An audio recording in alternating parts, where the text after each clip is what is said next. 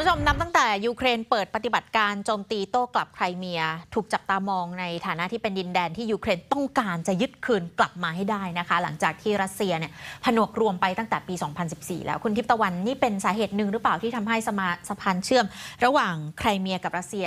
ถูกโจมตีไปก่อนหน้าเนี่ยเขาบอกกันว่าการโจมตีที่เกิดขึ้นนะคะ มีผลทั้งในเชิงของสัญญลักษณ์ แล้วก็ทางยุทธศาสตร์การรบด้วยค่ะ และนี่เองที่ทำให้การโจมตีที่เกิดขึ้น อาจจะไม่ใช่ครั้งสุดท้ายนะคะ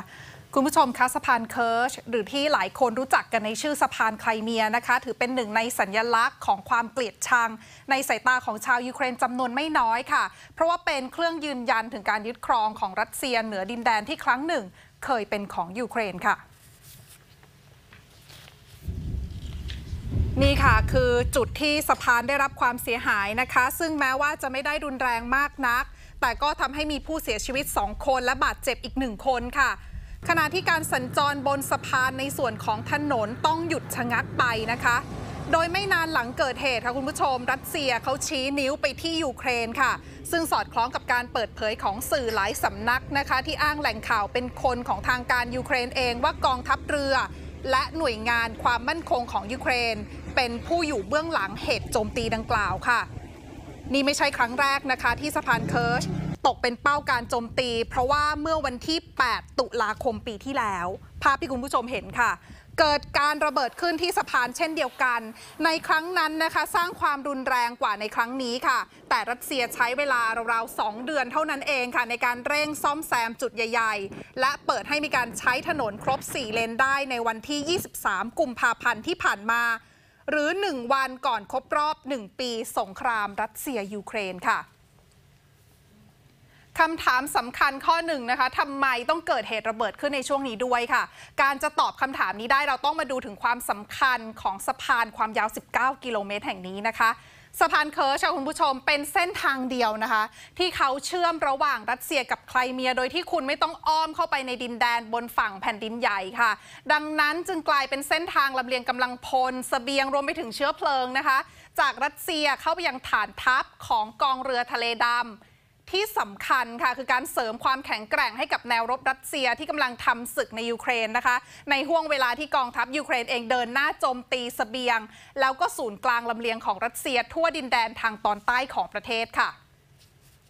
นักวิเคราะห์จำนวนหนึ่งนะคะเขามองว่าถ้ายูเครนเป็นผู้อยู่เบื้องหลังการโจมตีในครั้งนี้จริง อาจจะสะท้อนให้เห็นถึงภาพใหญ่ของปฏิบัติการโต้กลับนะคะ ที่เริ่มเห็นความคืบหน้าเพิ่มมากขึ้นค่ะ โดยเฉพาะความพยายามของยูเครนในการขับรัสเซียออกจากดินแดนทางตอนใต้นะคะ เหมือนกับการโจมตีสะพานเมื่อปีที่แล้ว ก็เกิดขึ้นในช่วงที่ยูเครนเปิดศึกผลักดันรัสเซียออกจากเคอร์ซอนเช่นเดียวกันค่ะแต่ความเสียหายที่เกิดขึ้นกับสะพานในรอบนี้อาจทำให้ความหวังที่จะตัดกำลังรัสเซียไม่สำเร็จผลเท่าไหร่นัก เพราะไม่ได้กระทบกับเส้นทางรถไฟบนสะพานนะคะ ซึ่งถือเป็นเส้นทางลำเลียงหลักของรัสเซีย โดยปัจจัยหนึ่งที่อาจทำให้สะพานเสียหายไม่มากเท่ากับครั้งที่แล้ว อาจจะเป็นเพราะรอบนี้ใช้วิธีการโจมตีที่แตกต่างออกไปค่ะแหล่งข่าวยูเครนระบุนะคะว่าอาวุธที่ใช้โจมตีสะพานรอบนี้ คือเรือโดรนค่ะ หรือว่ายานผิวน้ำไร้คนขับนะคะ แม้จะไม่ได้มีการเปิดเผยว่าเป็นรุ่นไหน แต่เรือโดรนรุ่นที่คุณผู้ชมเห็นค่ะ รุ่นนี้ยูเครนเคยใช้โจมตีรัสเซียในทะเลดำมาตั้งแต่เมื่อเดือนตุลาคมปีที่แล้วนะคะ รัศมีปฏิบัติการ 400 กิโลเมตร พิสัยทำการค่ะ ตัวเลขเนี่ยสูงสุดถึง 800 กิโลเมตรนะคะ ระยะทางเท่านี้เพียงพอต่อการโจมตีเป้าหมายในไครเมียค่ะ โดยรัสเซียเขาระบุว่ายูเครนเนี่ยมักจะปล่อยเรือโดรนนะคะ ออกมาจากท่าเรือในโอเดสซาระยะทางของเมืองโอเดสซากับฐานทัพเรือรัสเซียในเซวัสโตโพลเนี่ยมีเพียงแค่ 300 กิโลเมตรเท่านั้นค่ะ ขณะที่เรือโดรนรุ่นนี้ยังสามารถทำงานอัตโนมัตินะคะ ได้นานถึง 60 ชั่วโมง และมีความเร็วสูงสุด 80 กิโลเมตรต่อชั่วโมงค่ะ แม้ว่าทะเลดำนะคะจะเป็นจุดยุทธศาสตร์และสมรภูมิรบสำคัญ แต่รัสเซีย กลับเพิ่งจะจัดเรือลาดตระเวนน่านน้ำบริเวณนี้หลังเกิดเหตุโจมตีสะพานเคิร์ชรอบที่แล้วค่ะ เพราะว่าตอนนั้นมีกระแสข่าวว่าเรือโดรนของยูเครนเนี่ยอาจจะมีเอี่ยวในการโจมตีด้วย ขณะที่นับตั้งแต่นั้นเป็นต้นมาคุณผู้ชม รัสเซียเขาเผชิญหน้ากับการซุ่มโจมตีของเรือโดรนแล้วเนี่ยไม่ต่ำกว่า 4 ครั้งนะคะ รวมอย่างน้อย 15ลำด้วยกัน โดยในช่วงที่ผ่านมาค่ะยูเครนเขาพยายามที่จะเร่งพัฒนา แล้วก็ผลิตเรือโดรนออกมาช่วยในการลาดตระเวน แล้วก็โจมตีเป้าหมายในทะเลนะคะ เพราะว่าโดรนประเภทนี้ค่ะเขาสามารถประยุกต์ใช้ชิ้นส่วนจากเรือพาณิชย์ได้ มีราคาถูกค่ะ